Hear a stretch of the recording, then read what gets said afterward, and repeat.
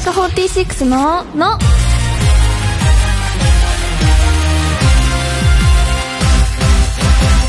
乃木乃木坂46の岩本蓮香です。文化放送からお送りしている乃木坂46のの第409回が始まりました、え今週も新型コロナウイルスの状況を考慮してのリモート出演となっております。もう年が明けてから1ヶ月経つんですね。早い。皆さん2月といえば何ですか？バレンタインですか？私の誕生日だと思うんですけど、2日後ですね、あさってですね、これを聞いてる方は。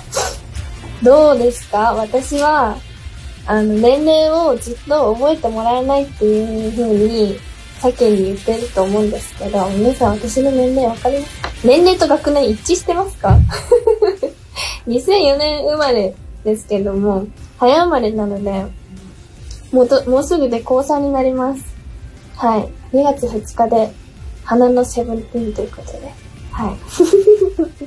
何も変わらないんですね。16から17って、どうなんだろう。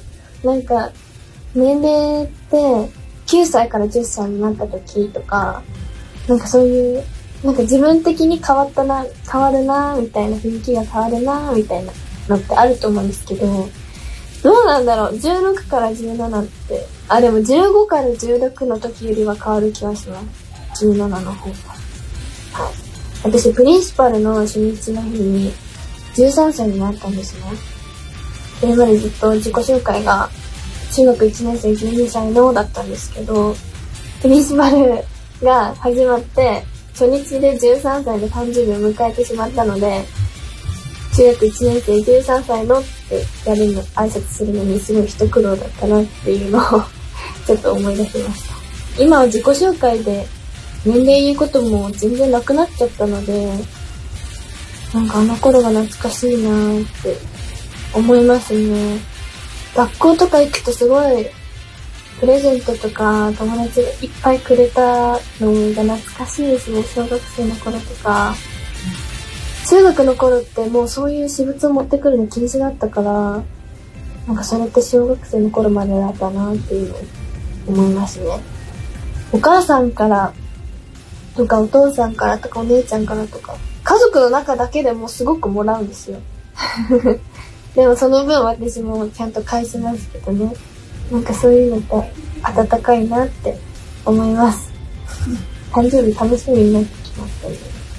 はい。この後登場するメンバーは、4期生の林瑠奈ちゃんです。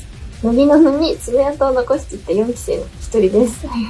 今回はどんなことを話してくれるんでしょうかラジオの前の皆さんも、のびののを一緒に盛り上げてください。ツイッターで番組公式ハッシュタグをつけてつぶやいてくれると嬉しいです。番組の公式ハッシュタグはひらがなでのびのの。タグをつけてつぶやけば、今この時間を共有している人を見つけられます。番組の公式アカウントもあるので、ぜひフォローしてください。文化放送をキーステーションに11曲ネットでお送りする乃木坂46のの最後までお楽しみください。毎週日曜日の夜6時30分から放送中日向坂46の日日向坂46のメンバーが毎週楽しくおしゃべりしています例えばこんな感じ私セミがすごく嫌いなんだけど、はいピンポイントで私の家のベランダに 2匹もセミがいたの。いやいやと思って、もう私ベランダ見て3分ぐらい固まってたもん。いや、嘘でしょ。なんで？なんで？え本当に3なんで？分ですか？ちょっと持ったかもしれない。さすがだね、はるやちゃん。ツッコミが鋭いうん。日向坂46の日は、今日の夜6時30分からみんな聞いてね乃木坂46ののお待たせしました。今日はこちらのメンバーです。乃木林瑠奈です。負けるな、しょげるな、林るな、今日も一日頑張るな、ピンポン ということで。いやブログに書いてるよね。そうですね。でも最近ちょっと書くのをやめあそうなの？始めました。なんで？やめちゃったの？なんか、なんかちょっと端折っちゃって。大事な部分だと思うよ、私は。でちょっとあの、次からまた、うん、解禁してまして。はい。私たちはね、花のセブンティーンなので、そうですね。花のセブンティーンを言いたい言いたいんだけなんですけど、言いたいよね。言いたいですよね。ねだって、16歳も18歳も、なんかそういう枕言葉的なのがないから、そうそうそうそうそうそうそうせっかくだったら。ね17歳のうちしか使えないから、アピールしてアピールして、花のセブンティーンアピールしていきます。はい。えー、林エルナちゃんはですね、去年の12月から日刊スポーツさんでコラムを始めました。はい。タイトルは何ですか？えー、負けるな、しゃげるな、乗り遅れるな。おーなんかすごい万能な言葉だね。そうなんですよ。すごい使い勝手が良くて、ねだね。ファンの方とかも、うん。なんとかるな、うん負けるな、しゃげるな、配信るなって使ってくださるので、うん結構便利ですよね。すごい。コラムすごいね。ランジェさんそうです。次と。そう、もともとランデさんが、うんあの、やられたのをうんうん。継がせていただいて、だよね。12月から。やらせてもらってます。もうやってるの？そうです、今も。どんなことを書いてるの？結構なんかでも、ブログと被っちゃうとあれかなっていうのがあるので、楽しみ、すごい。ちょっと読んでみたいな、なんか。あありがとうございます。なんか、初めて、こう、ルナちゃんが、はい。よん新4期生の紹介で、乃木中でさ、あ、会った時に、あの、スタジオにもいたんだけど、すごい子が来たって思ってて、やっぱ、ね、変わってるって言われるでしょ？まあそうですね、言われがち。でも頭良さそうだなってすごい思う。頭良さそうも言われますけど。頭いいの？でも頭はそんな良くないんですよ。私、前回のテスト、数学が本当にやばくて、嘘レイカさんってお勉強得意な方ですか？勉強？得意か不得意かもわからないぐらいしてない。いや、でも私本当、もう、とんでもない点数嘘たんですよ。数学でもなんかわかんないから、うん、勉強しないとね。私たち花のセブンティーンだから何でもできるよ。何でもできますよ。はい。はい。連載の初回、はいはい。配信ルナです。特技は白目です。そして、土下座をしている写真が載ってますけどね。見たわ、土下座してる写真。あれ何？あれ、なんかあの、よろしくお願いしますっていう意味で、なるほど。本当に通ると思ってなくて私。あ、そうだよだね。から、別のその自撮りも普通に用意してて、うんでも、そういえばこの写真どこにも出してないなって思って思いついて、うんあの、これって載せれますかねって言って送ってうん確認してみますって言ったらなんか、もうホイホイと通っちゃってたので、ええなんですよ。怖っ。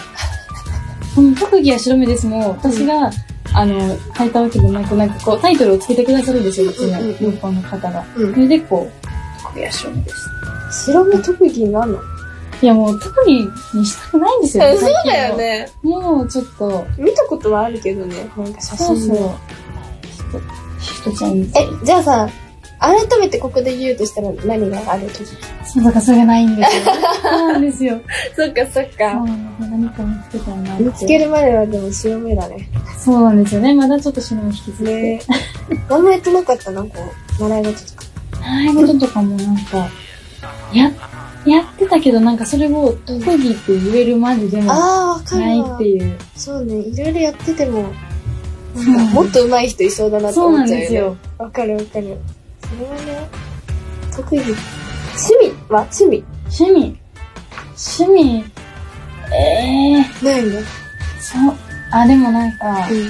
あのー、百人一首。ああるじゃないですかうんあれをそう部活でやってました。え、すごっ百人、あの、ちはやふるとかも、えああいうのえやってましたね。すごい、百人一首ってそういうのあるんだ。そうなんですよ。実際に大会とかもあったりして。え、それはね、今も全然できるの？そうですね、今も。まあ、鳴らせば思い出します、す感覚とか。百人、え、髪の毛、髪の毛言ってしまうく。え、もうすぐわかるの？そうです、全部覚えましたんで。やばー、すごいね。なんか、小学生の時にさ、一回全部、なんかや、やりましたよねやったよね。あれですっごい覚えた気になってたけど、中学上がってから何もわかんない。すごいよね、あれって。なんか、髪の毛でもさ、ここまで聞かなきゃわからないみたいなのもあるじゃん。そうそう決まり字。決まる、そうそううそうそうそうそう。ああ、それ、え、それ特技にしなよ。あ、じゃあもう、ちょっともうちょっと極めて特技にします。めっちゃかっこいい。なかなかいないと思う、百人一首ってなんかしかも、キャラクターっぽい。あ、本当ですか？なんかちょっと百人一首得意ですって言われたら納得しちゃう。ああ、じゃあ、ちょっと自分のものにして。頑張って。でもともと文書くのは好きだったそうですね、割と好きな方で、なんかそれを、ブログとかを見てくださって、うんあの、決めてくださったって言ってたので、ちょっと頑張っていこうっていうふうにすごいね思ってます。え、文、好き、書いてたの実際。昔から。本を読むようになったのと、あと音楽聴くようになってから、うん言葉を理解しだしましたね。でもわかる。音楽ってさ、そうなんですよ。すごくない？歌詞を見るようになると、言葉知るじゃないですか。わかる。なんか歌詞を、なんかその歌の意味を理解しようとすると、そうなんなんですよ。か世界広がるよね。そうなんですよ。調べたりするから。わかるわかる音楽は大事ですよ、皆さん。よく聞いてください。はい。なんかさ、今書きたいなって思ってることとかありますか？今後。あの、乃木坂のことを、初めの方は書いた、書いてたんですけど、うんうんその後に、特に音沙汰があんまりなかったので書いてなくて、うん初心者の乃木坂ファンの方にあ、おすすめしたいポイントとか曲とか、ね、いいね。なんかそういう回をいっぱい作れたらなと思います。素敵。もともと乃木坂好きなんだ？もん。そうなんです。あ、やっぱ全然違うよね。ライブとか行ってたの？行ってました。えー、初めて行ったライブは？初めて行ったライブは、えっ、と、真夏の全国ツアーの東京ドーム17年。え ?3 期生さん出てました。どんなやつだっけな？あの、マネキンから始まってダーって走ってくる演出があってっていう。マネキンから見えて走って。で全国のなんか女子高生が集まってて、VTR とかもすごくて、懐かしいで、途中から映像と、うんあの、そうなんですよ。会場がこう一体化してっていう。あったあった懐かしいあれって2017年なんだね17ね。年ですね。そんな、いつから好きだったの中学生になってから結構もうドハマりしてっていう感じでした。ーすごいね。きっかけ、きっかけは？きっかけ、でもなんか、初め曲から入って、えー、曲から入った？から入って、で、その、あ、いいなって思ったタイミングで、ちょうどその日に音楽番組で、うん乃木坂を見て、うんで、そこで、おって、自分の中でスイッチが入って、うんで、調べるようになって、ってしていきますね。すごい。そんな前から、ちょうど3期が入ったぐらい。そうです。だから、オーディションの、あの、最終の小さな手前のショールームを私見てました。えー、そうなの？そうなんですよ。やば。でも、だからちょうど3期生さんのオーディションぐらいから、その、ショールームとかも見出したりして、そうなんまだ。なるほど。そういうタイミングもあるんだね。ありがとうございます。はい。ということでですね、早速、ここで一曲いきたいと思います。はい。まあ、ルナちゃんの選曲ですね。はい。えっ、と、この曲はですね、新4期生5人がうん入って、4期生16人になって初めていただいた曲で、歌詞にすごい勇気をもらえる曲です。はい。それでは、聴いてください。乃木坂46で、アウトオブザブルー。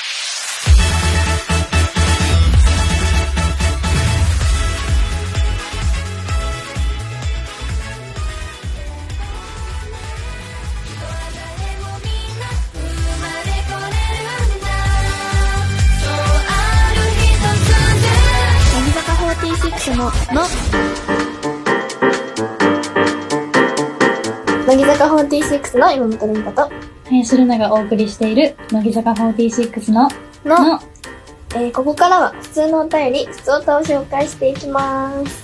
えー東京都ラジオネーム、チタンさんからいただきました。乃木坂の皆さん、乃木乃木、乃木坂は現在、たくさんのメンバーがグループに所属していて、名前もバラバラで個性がいろいろあると思います。そこで、このメンバーの下の名前が可愛いや、この子の名字になってみたいなどの他のメンバーの名前に関する感想は何かありますか？僕は、ゆみきっていう名字が強そうで羨ましいなと思っています。あー、あるね。これは、あるよね。なんかあ、りますね。いいなって思うことあるよね。確かになんか、名字とか特徴ある名前だと、ん覚えてもらいやすいし、確かに確か区に。別つきますもんね。うん。でも、林ルナってなんかいいよね。あ、本当ですなんか林ルナ言いやすい。あ、言いやすいです。うん、言いにくい自分なの。山本蓮香さん。岩本が本当に言えない。ああ、ゆ、あ、まあ、でも、魔行って確かにちょっと難しいですそうよね。そうそうそう、なんか、和から魔がスムーズみたいな。うなんか、ん。やめと、みたいな。なんか難しい。あるなんかなってみたい。あとね、うん。樋口さん。樋口っていう名あ字がかっこいいなあ、って思い確ます。かにかっこいいようんね。樋口、ひな。そうなんですよ。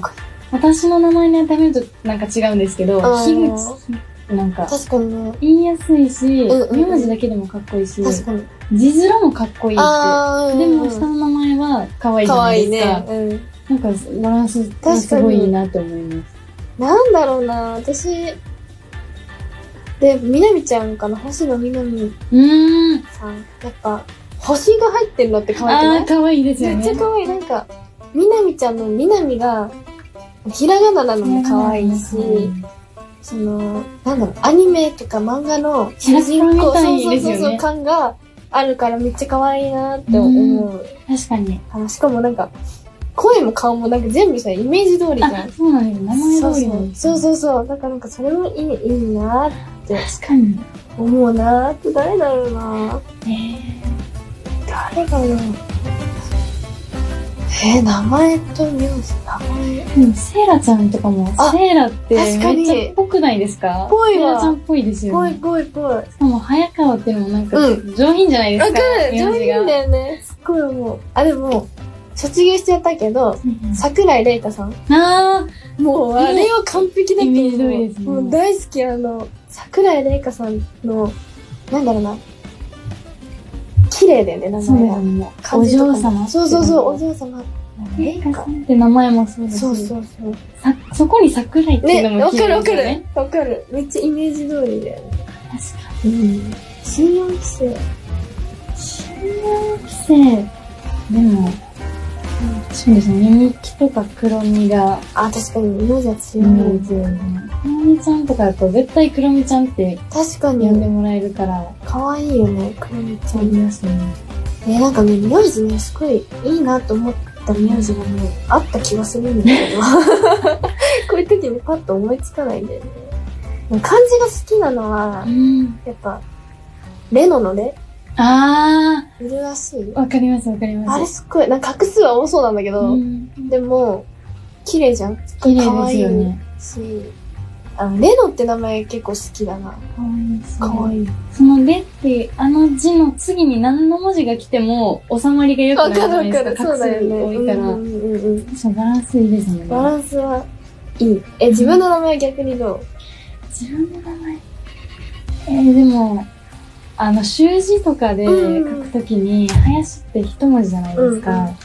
で、だから、感覚を取るのが難しいです。なるほどね。確かに確かに。一文字あるあるな気がします。そうだよね。林、ル、ルナが二つだもん二ね。つですね。確かにそれは難しいかもしれない。ルナのルも意外と画数多いな。そうですね。なんか、林ルナで一個の名前みたいな。わかるわかる。その、一塊な感じするよね。確かに。名字感はないかも、林に。面白い。あ、いいね。三文字の名前もすごいいいな。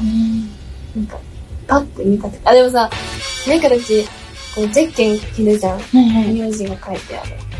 あそこに林って一文字なのにさ、なんか強くていいよね。なんか、うんそのゼッケンもらうってなった時に、あの、堀さんが、うん堀ってでっかく書いてるじゃないですか。うん二文字の名字の方と、一個こう、うんフォントが大きい字で堀って書いてるじゃないですか。だから、私もそういう感じかなって思ったんですよ。そしたら、あの、同じサイズで林だったから、あ、そうなの。あのね、新しく作られたゼッケンは文字ちっちゃいのよ。。だ楓さんも、そう。あれですよね。楓がちっちゃいの。ちそう。そうそうそうそう。確かに、ミオナちゃんの大きいもんね。そうなんですよすぐにわかるから、確かにね。思いましたけど。うん。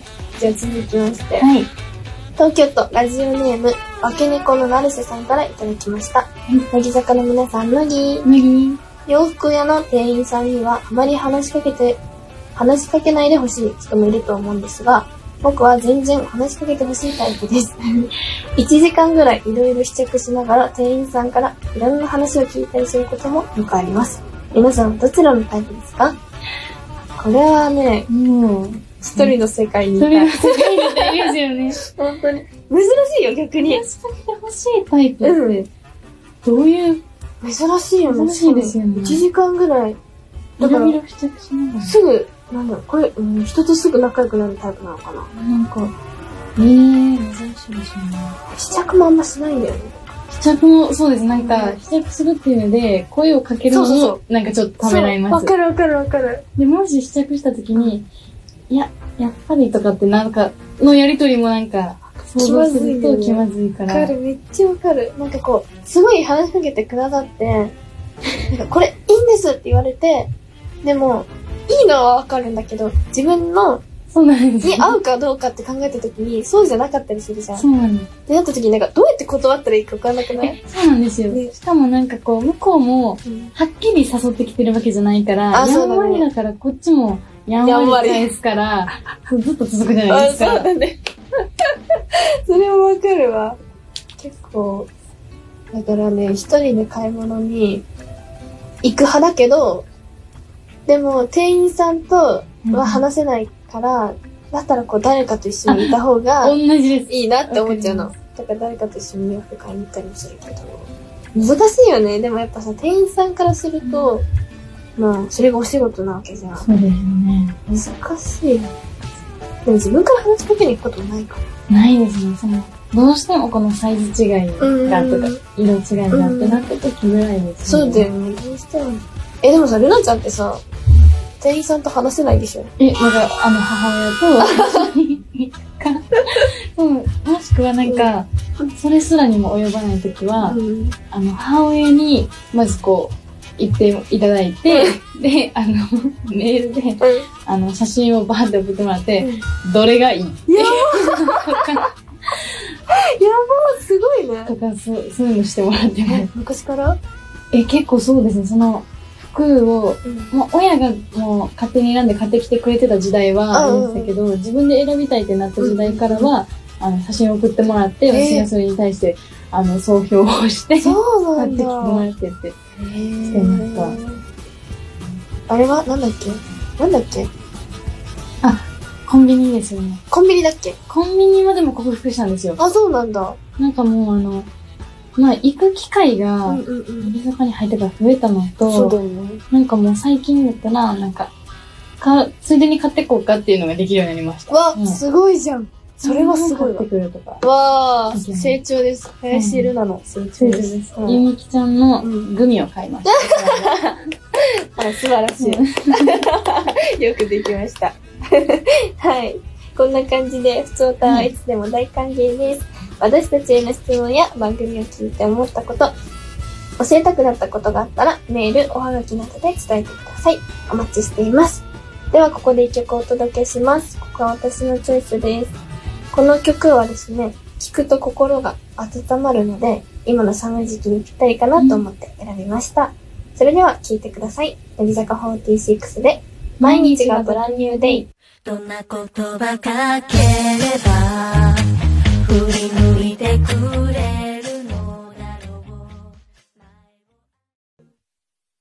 お天気のりのレコメン毎週水曜日の夜は乃木坂46の田村真由も一緒です。毎週まいちゃんから無茶ぶりでモノマネをさせられたりリスナーに甘い言葉をかけたりしてますいや、逆逆。それ、私がやってるやつ。へへへへ文化放送お天気のりと乃木坂46田村真由のレコメン。聞いてね乃木日向坂46の富田鈴香です乃木渡辺美穂です。乃木川田ひなです。乃木のののリスナーさん私たちの番組も聞いてみませんか？この後6時30分からは日向坂46の日みんな聞くしかねえので。乃木坂46のの文化放送をキーステーションにお送りしている乃木坂46のの乃木坂46でボーダーを聞きながらお別れのお時間です。早かったですよね。早かったね、ずいぶん。早かったでも多分内容めちゃめちゃ濃かった。あ、うんよかったです。いっぱい話しました。はい。え、ここでお知らせをさせてください。乃木坂46の26枚目シングル、僕は僕を好きになるが現在発売中です。はい。そして、ルナちゃんからもお願いします。はい。コラム、林ルナの泣けるな、しゃげるな、乗り遅れるなら、乗り遅れるな、日刊スポーツトムソンにて連載中です。ぜひチェックお願いします。はい。番組では引き続き、あなたからのお便りお待ちしています。おはがきの場合は、郵便番号105-8000に、文化放送、乃木坂46のの、それぞれの係までお願いします。メールの場合は、のぎ、アットマーク、joqr.net、noh, アットマーク、joqr.net です。そして、番組のツイッターの方もぜひフォローしてください。この後は、日向坂46の日です。引き続き、文化放送でお楽しみください。来週もまたこの時間にお会いしましょう。お相手は、乃木坂46の岩本蓮子と、林ルナでした。バイバーイ。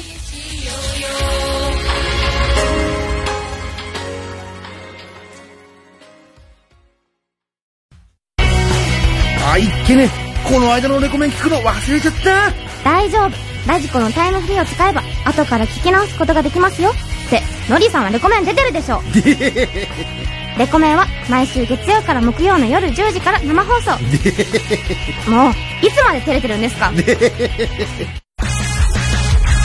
さーて次回の卒アルは？タラちゃんです。次回2月2日のテーマは引っ越しを20回以上した人っている？